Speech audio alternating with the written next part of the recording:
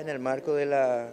presidencia pro tempore del Mercosur, en lo que nos respecta a nosotros, el Mercosur cultural, estamos reunidos con ministros de cultura y sus representantes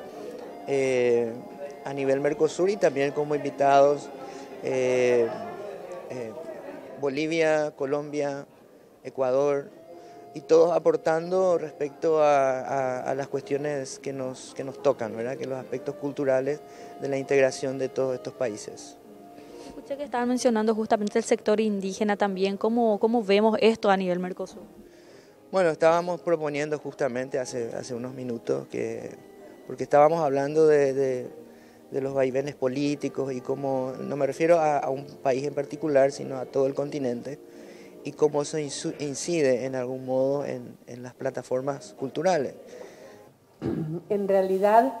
creo que las nuevas tecnologías de la información son un desafío para América Latina y el mundo. Eh, Uruguay tiene desde hace más de 10 años el programa Una computadora por niño, de lo cual tenemos muchísimas experiencias eh, de todo tipo. Eh, tuvimos eh, un niño de una escuela rural que grabó el parto de una vaca y lo colocó en internet, rápidamente se viralizó porque muchos niños de la capital, de Montevideo, nunca habían visto el parto de una vaca, así que él este, pasó a hacer de alguna manera un video que otros niños no conocían. También ha fomentado eh, la participación como youtuber de muchos niños y adolescentes, con eh, valores positivos cuando se rescatan las mejores tradiciones y los valores de la familia y del entorno, con dificultades cuando se graban situaciones de